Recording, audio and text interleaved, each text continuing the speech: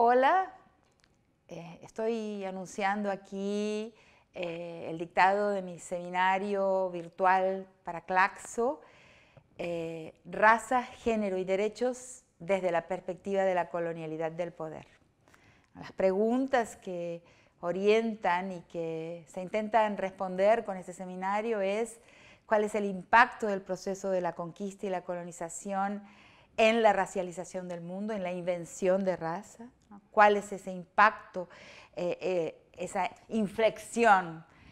que el proceso colonial eh, introduce en la historia del patriarcado, en la larga historia de la prehistoria patriarcal de la humanidad, cómo esa prehistoria patriarcal de la humanidad se nuanza, se transforma a partir de la incidencia colonial ¿Y qué pasa con los derechos? O sea, estamos realmente viviendo en unas repúblicas eh, guiadas por una idea del derecho, de la justicia. ¿Dónde están las fallas y qué las ocasiona eh, en los sistemas de derecho, en las legislaciones y en las prácticas jurídicas de nuestro continente?